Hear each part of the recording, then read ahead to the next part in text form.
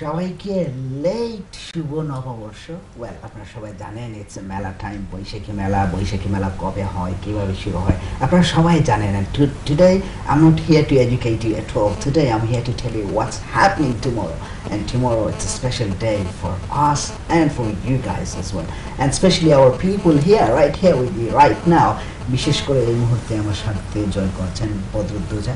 Badruddoza thank you very much আপনাকে আমাদের সাথে জয়েন করার জন্য। I know a long journey আমি কথা বলব তা নিয়ে। Naz he still here with us এবং রিঙ্কু আমাদের পাশে আছেন। Mubarak is sitting here next to me so you guys thank you very much welcome to আজকের প্রোগ্রাম কমিউনিটি ম্যাটার বদরুদ্দোজা আপনার কাছ থেকে জানতে চাই যে আপনারা তো অনেক মেলা করেন।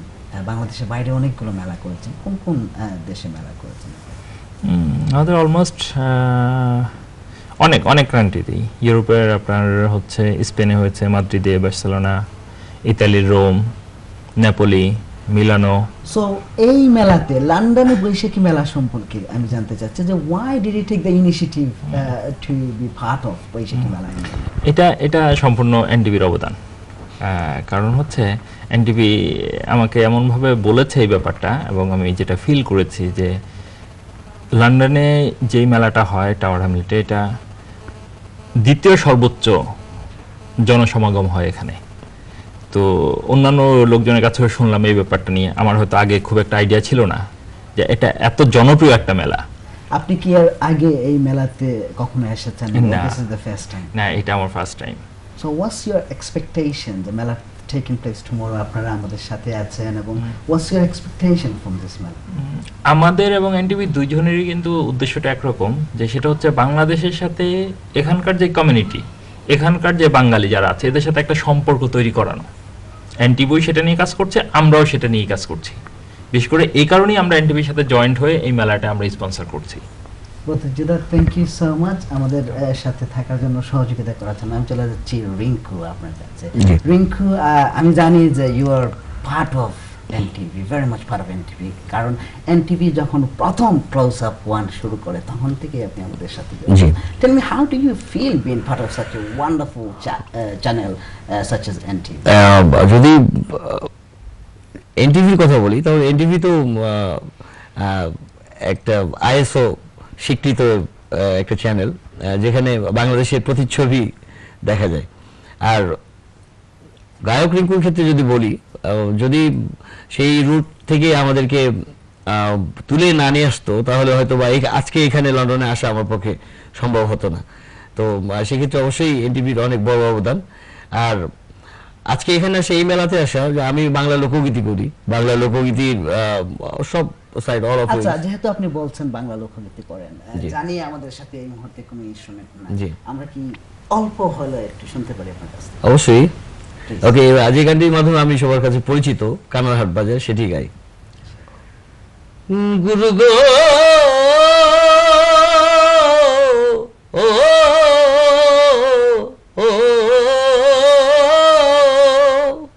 বেদ বিধির পর শাস্ত্র কানা আর এক কানা মন আমার এসব দেখি কানার হাট বাজার Wow, wonderful.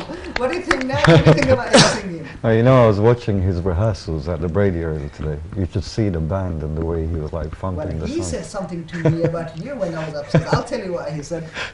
মুবারক আপনার কাছ থেকে জানতে চাচ্ছি আই নো ইউর হিয়ার তার আগে আপনি অনেকবার লন্ডনে এসেছেন জি। বিশেষ করে এই মেলাতে আসতে পেরে হাউ ডু ইউ ফিল এই মেলাতে আসতে পেরে খুবই মানে খুশি লাগতেছে। আমি এর আগেও একবার আসছিলাম এই মেলাতে পারফর্ম করে গেছি। এবং এই মেলাতে যে অডিয়েন্স হয় প্রচুর অডিয়েন্স দেখে মন ভরে যায় পারফর্ম করতে ইচ্ছেই করে বেশি বেশি ইচ্ছা করে। সো বাংলাদেশে তো আপনারা অনেক জায়গায় প্রোগ্রাম করেন হ্যাঁ। টিভিতে করেন মঞ্চে করেন বিভিন্ন জায়গায় প্রোগ্রাম হয় আপনারা নট অনলি বাংলাদেশ বাংলাদেশের বাইরে, কিন্তু বাংলাদেশ এবং বাংলাদেশের বাহিরে বিভিন্ন জায়গায় প্রোগ্রামগুলো যখন করেন তখন ইংল্যান্ডের মেলা সম্পর্কে লোকজন কি বলে এটা তো ডিফারেন্ট একটা মেলা মানে বিদেশের বাড়িতে বাঙালি কমিউনিটিরা মিলে একটা মেলা করে এটা বিশাল ব্যাপার। আমাদের দেশেও এত বড় মেলা খুবই কম হয়। বৈশাখী মেলা আমাদের দেশেও হয়। তো লন্ডনের মধ্যে বৈশাখী মেলা করা এটা আমার কাছে অনেক এ- একদম। আসলে কি যারাই বৈশাখী মেলা শুরু করেছে না এখানে আমার মনে হয় যে বৈশাখী মেলাটা হচ্ছে আমাদের আমরা ফিল করি যে এটা আমাদের। যদিও আমরা এক্স্যাক্টলি সময় মতো সেলিব্রেট করতে পারি না ওয়েদারের কারণে বা বিভিন্ন রুলস অ্যান্ড রেগুলেশন কাউন্সিলের সাথে জড়িত। বাট আমরা চেষ্টা করি যে বাংলাদেশের যাও ভালো করার জন্য আর এখানে যারা পারফর্ম করে দেয় আর ওয়ান্ডারফুল ভেরি কুইকলি কালকে আপনি কি করবেন? যারা দর্শক আছেন যারা বাসায় বসে এই মুহূর্তে দেখছেন তাদের জন্য আপনি কালকে কি করবেন? কালকে পারফর্ম করব দেন আমি ঢোল বাজাই বাংলা ঢোল বেঙ্গলি ট্র্যাডিশনাল ঢোল যেটা তো চেষ্টা করব কালকে অনেক মজা করার জন্য মজা দেওয়ার জন্য পারফর্ম করে এই thank you. Thank you very much. Uh, Naz, I want to know from you. I know, uh, like I said before, we were talking about your performances and everything and how you got involved in Boishiki Mela since yep. day one. And now it's gone many, many years, 2017. I mean, what sort of difference do you see from there to where it is now? Well, I think every year the quality gets better and we attract way more people. Now even I see English people coming to understand Bengali culture because it's, it's so open to everyone, all the platforms and every year, every year, be it even the community talents and even the headline acts, it actually grows. Even for myself, last year we did an amazing performance and the audience was singing louder than the sound. so instead of listening to the sound, I was listening to the audience sing. But um, every year, I, I think it, it, the people um, accept it more. Being a British Bengali, I, I don't know too much about the Boishaki. In, in Bangladesh, I wish I celebrated it, but here every year, Can, I- can I just give you a little bit of information? Yeah. Boishaki is a, a celebrate. It's a new year. It's Yeah, like you know we celebrate on 31st of December and stuff like that, Mm. beginning of the year. And this is the Bengali calendar, which was created many years ago, and Mm. this is where it comes from, Boishak. So what they do during this time is people will come to your house. They give you a lot of pit, you know, pita. You have Yeah. pitas in the house and stuff Okay. like that. Uh, and people sing, they dance. There's a lot of cultural stuff happening. I mean, আপনার কাছ থেকে জানতে চাচ্ছি বাংলাদেশি বৈশাখী মেলা সম্পর্কে যদি একটু বলতেন যে কেন আমরা সেলিব্রেট করি যে এটা এখানকার একজন ব্রিটিশ বন ইয়াংস্টার জানতে চাচ্ছে যে আমি এখানে পারফর্ম করি সব কিছুই করি but I don't know what it is যদি আপনি বলেন। আচ্ছা প্রত্যেকটা জাতিরই কিন্তু একটা নিজস্ব সংস্কৃতি থাকে। এটা হচ্ছে একটা রুট কোনো জিনিস যদি রুট না থাকে সেটা কিন্তু বেশি দিন স্টে করবে না সরে যাবে। বাঙালি সংস্কৃতি যেই রুট এই সংস্কৃতিটাই হচ্ছে রুট এটা আমাদেরকে এই বৈশাখ আসলে এটা শিক্ষা দিচ্ছে। এটা কি আমরা জানি আমাদের সন্তানরা জানবে তারপরে প্রজন্মর পর প্রজন্ম জানবে। এই রুটটা যদি আমরা না জানাতে পারি যে আমাদের বাঙালির নিজস্ব একটা সংস্কৃতি আছে এই যেমন ওনারা গান গায় এটা এক একজন এক এক স্টাইলের গান গায়। প্রত্যেকটা কিন্তু আলাদা আলাদা একটা রুট আছে। Definitely, definitely. এই এটা শিক্ষা দেওয়া এটা কিন্তু তাদের একটা অস্তিত্বের ব্যাপার। আমি যে ভাসমান না যে আমি পানির উপরে ভাসলাম চলে গেলাম একদিকে ওইরকম না। এই বাঙালি সংস্কৃতিটাকে শিক্ষা দেওয়ার জন্যই হচ্ছে কিন্তু বৈশাখী মেলা। না হয় হয়তো অন্য যত নববর্ষ আসে সবগুলো কিন্তু সেম ডেতে হয়। যে থার্টি ফার্স্ট এরপরে কিন্তু কেউ জানুয়ারি দশ তারিখে কেউ করবে না। কিন্তু বাঙালিটা এটা কি? টাইম টু টাইম চলতেই থাকে। আমার কাছে মনে হচ্ছে কি যে আমাদের কমিউনিটি বিশেষ করে এখন অনেকগুলো চ্যানেল রয়েছে রেডিও রয়েছে অনেকগুলো পত্রিকা রয়েছে। কোনো একটা সময় ছিল যখন আমাদের কিছুই ছিল না। I remember when I was very young আমাদের এখানে ছোট্ট একটা সেন্টার ছিল। নাম হচ্ছে নজরুল সেন্টার নজরুল সেন্টার তো সেন্টারে আমাদের আসা যাওয়া হতো। সেন্টার থেকে আমরা শুরু করতাম যে আমরা কি করব? আমরা বাঙালি। আপনি আশা করি ব্রিকল্যান্ড এলাকাটা চেনে ব্রিকল্যান্ড এলাকা সম্পর্কে আপনাদের জানি না কতটুকু জানেন। ব্রিকল্যান্ড এলাকাটাই ছিল আমাদের। ব্রিকল্যান্ডের বাহিরে কোথায় যাওয়ার জন্য প্রস্তুতি নিলে বা মনে করেন আমরা কলেজে যাওয়ার সময় বা স্কুলে যাওয়ার সময় আমাদের সমস্যা হতো। কেন হতো? বিকজ আমাদের কালারটা হচ্ছে ব্রাউন হ্যাঁ তখন আমাদের বাঙালি একদম ছিলই না। আমরা যদি একটা বাঙালিকে দেখতাম, ভাই আসেন, বাসায় আসেন, বসেন, একসাথে গান করি, নাচ করি, আমরা নজরুল সেন্টারে ইনভাইট করতাম, এই ধরনের কালচার ছিল। কিন্তু এখন অনেক বড় হয়েছে, বাঙালিরা অনেক কিছু করছে। এখন যদি আমি এই কথাগুলো বলি যে আজকে টিভিতে আমি বলতেছি, আমার কাছে মনে হচ্ছে যে অনেকেই ভাববে হোয়াট ইজ ইট ওকেন অ্যাবাউট আমার কাছে স্বপ্ন মনে হচ্ছে ড্রিম বাট আসলে আমরা যখন ইয়াং ছিলাম অনেক দেখেছি, তখন উই ওয়ার লাইক লস্ট আমাদের জেনারেশনরা লস্ট ছিল যে আমরা কী করব? হোয়াট ইজ আওয়ার কালচার আমাদের কালচারটা কি বাঙালি না ব্রিটিশ বাঙালি? আমরা কি ব্রিটিশদের সাথে চলাফেরা করব? না না না কি করব? কিন্তু রিঙ্কু, আজকের যে জেনারেশন বাংলাদেশে you see they're involve in music industry Baishakhi Mela করতেছে।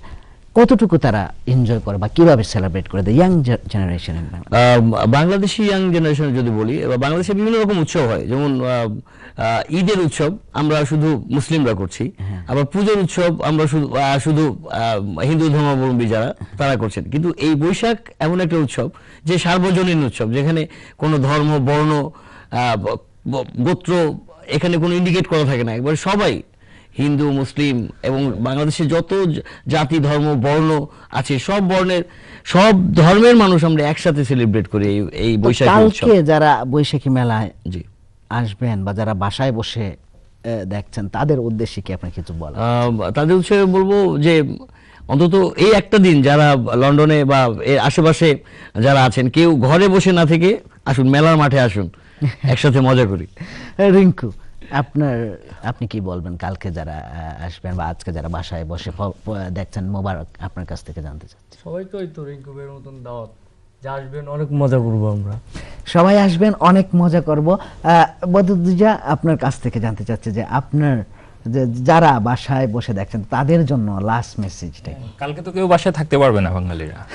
কারণ আমরা সেই বাংলাদেশ থেকে একটা মেলার জন্য এত কষ্ট করে এত জার্নি করে আসলাম।